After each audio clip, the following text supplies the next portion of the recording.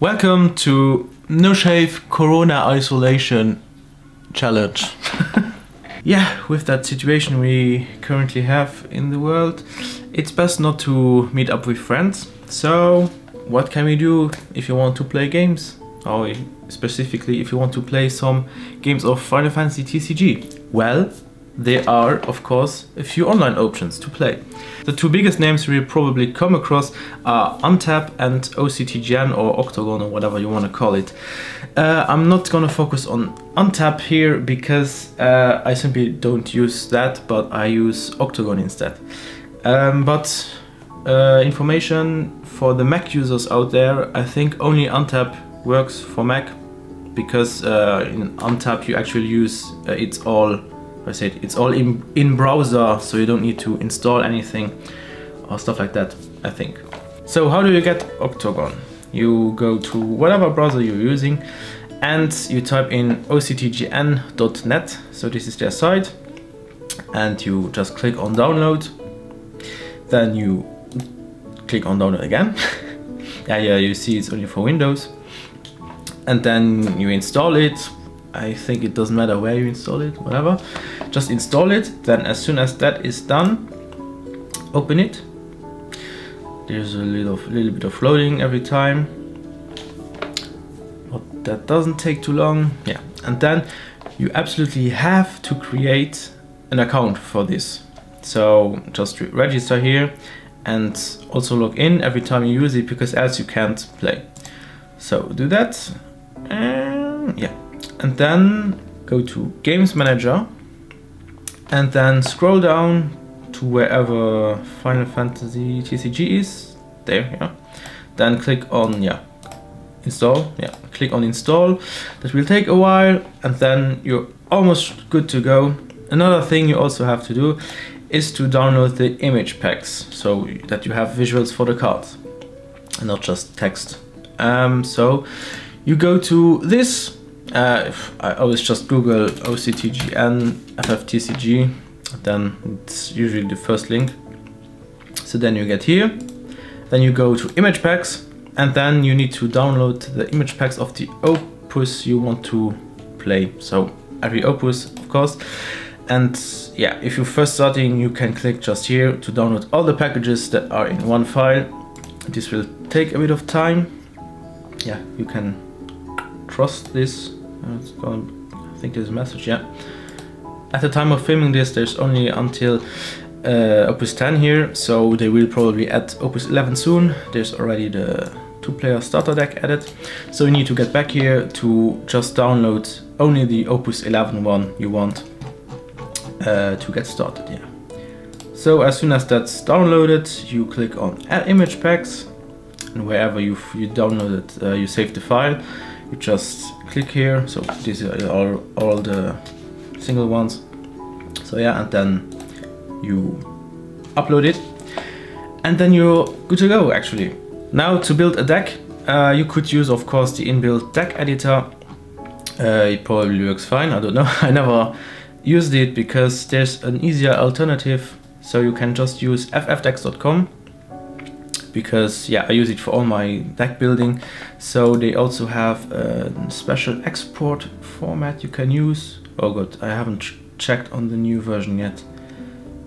Um, yeah so when you have your finished deck when it's all saved and ready to go 50 card blah all official then you just click on the three dots and export as OCTGN so that's a special file. Just save it where you can find it um, all the stuff OCTGN is normally saved under your documents uh, automatically. So there you have your file and just create uh, all the files and just create another another folder for your decks, whatever. So play or spectate, there's nothing going on at the moment. So just start one, whatever game name, password, whatever you want.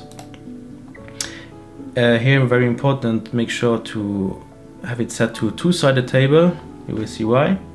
Then yeah if you have an opponent start. And this is how it looks. Two-sided table makes it that your view is always like this so you are on the bottom and the opponent is on the top.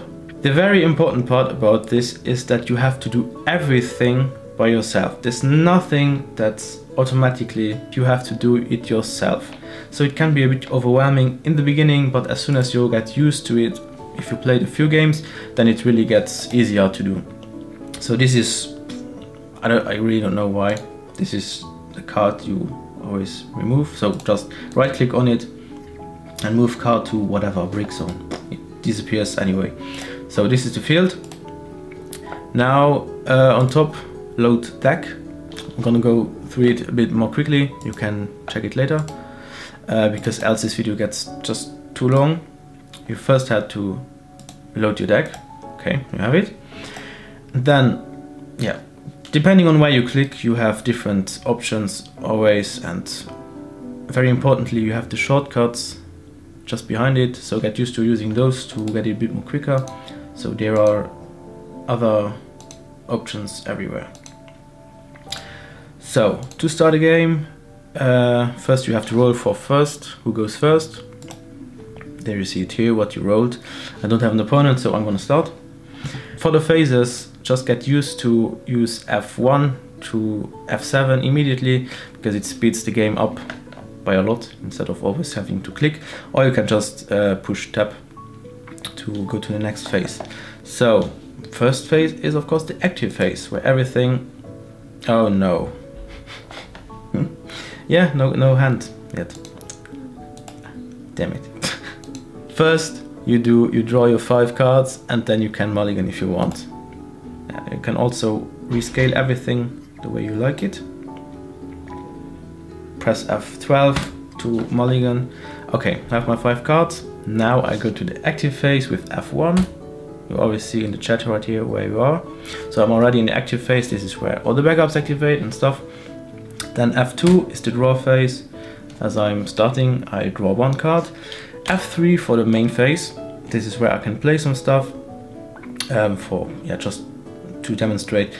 I want to play her Philo so I need to generate some CP so I right click on the card then discard and gain CP and then I play her. Right click and play this card. And then I, I choose a spot where I want to play her. Yes. Cool. But I can just get it back and also just drag it here the program doesn't matter. It lets you do whatever you want. I can place him on the field. Remember you have to do everything on your own. So the program will not tell you when you do something wrong except for stuff like if you want to use it correctly but you don't have the right CP for example. If you want to play her program says you don't have the CP so I can generate it here as well manually to CP and then I can play her. Stuff like that. It it's a bit mm, yeah. As I said it's it takes some time to get used to. It's also best to use a voice chat or whatever with your opponent. Maybe you're playing with a friend jump into discord or whatever you're using because it's far easier to communicate than to write in the chat. Wait up. I made a mistake. Then the other person played already and you have to rewind and blah blah blah. So voice chat is the way to go uh, yeah that's it. Uh, just very quick to show some stuff. Attack phase and now I want to attack so I right click and say I